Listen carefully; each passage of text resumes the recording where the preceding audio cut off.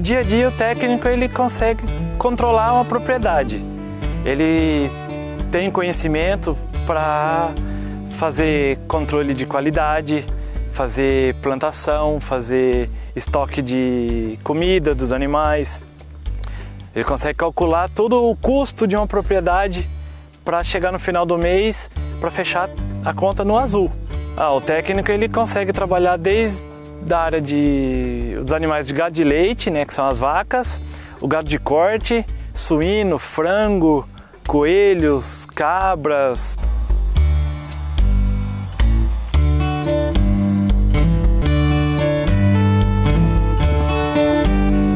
O primeiro contato é sempre aquele mais assim de a impressão que fica é aquela assustadora, né?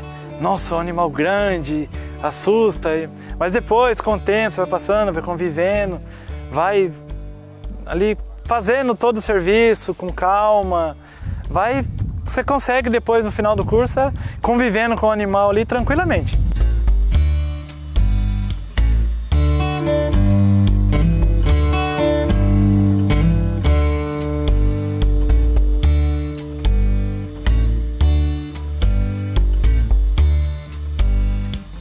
Eu sou formado desde o ano de 2002, mas sou nascido e criado nessa área. A convivência com os animais que foi o que mais me atraía.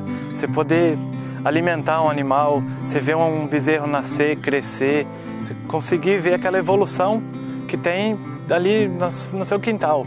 Então foi uma coisa que me chamou muita atenção. A especificação que eu tenho é na parte de leite. Trabalhar com os animais de leite, consegue fazer um controle de lactação, controle de qualidade do leite, você consegue fazer manejo de ração, manejo reprodutivo dos animais, de saúde dos animais.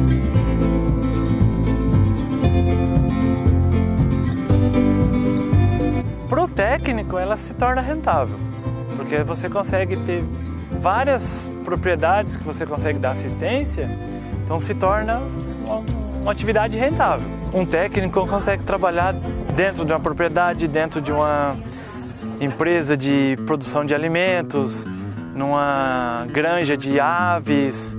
São ambiente interno e externo de produção, é, controle de qualidade. Desde pequeno fui desenvolvendo aquilo, trabalhava junto com meus pais, meus avós. Então a gente vai crescendo junto com os animais você vai adquirindo aquele gosto de trabalhar em cima, ver o animal crescer, uma, uma vaca parir, ver o bezerro nascer. Então é uma coisa que você vai gostando muito daquilo ali, então você vai se apaixonando pela área. É uma coisa assim, eu sou apaixonado pelo que faço.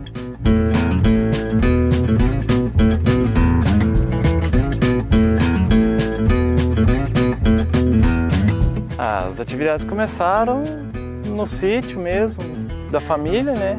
Eu ajudava a parte de ordenha. É um trabalho gratificante, porque você vê o, consegue ver o resultado do seu trabalho.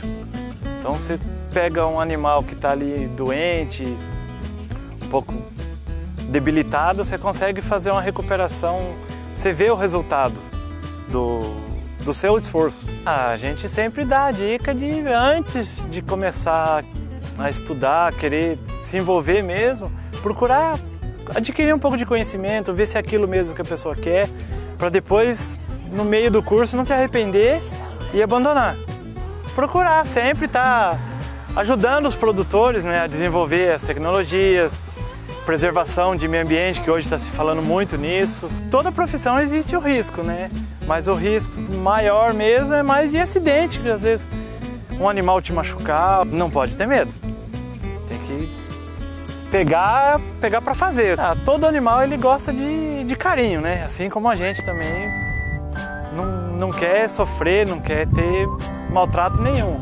Então o animal também responde isso pro produtor, pro técnico, seja para quem for.